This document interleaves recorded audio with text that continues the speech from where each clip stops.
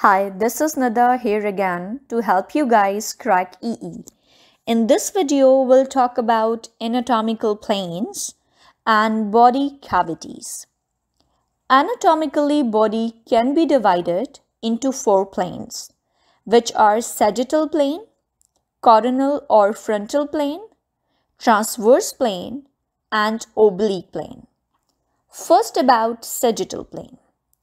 This plane divides the body into right and left sections. It runs from top to bottom and front to back.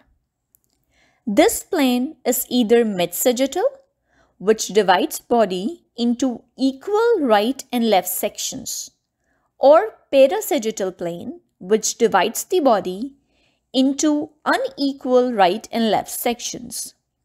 Second is coronal or frontal plane, which divides the body into front or anterior and back or posterior sections.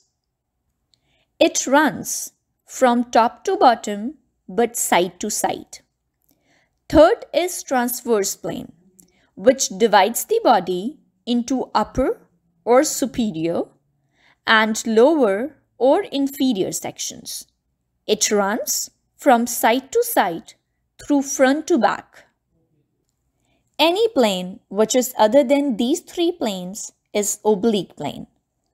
Now we'll discuss and talk about body cavities. We will discuss what body cavities present on interior or ventral side of the body and what cavities on posterior or dorsal side of the body. On the interior side, body is divided into thoracic, abdominal, and pelvic cavities. Thoracic cavity, which is your chest cavity, enclosed by rib cage, includes heart and a pair of lung. Lungs are covered by pleural membrane or pleural layers. And heart by pericardium membrane or layers. Diaphragm, which is a muscular sheet, separates the thoracic cavity from the abdominal cavity.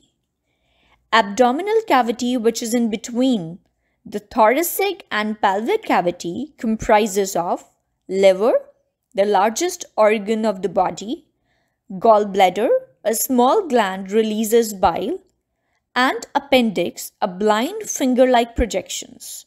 All these three organs are present on the right-hand side in the abdomen. Stomach, which is the main digestive organ, spleen and pancreas are on the left-hand side. As we have a pair of kidney, so one on the right-hand side and the other one on the left-hand side in the abdomen as right kidney is pushed by liver, so slightly lower than the left kidney.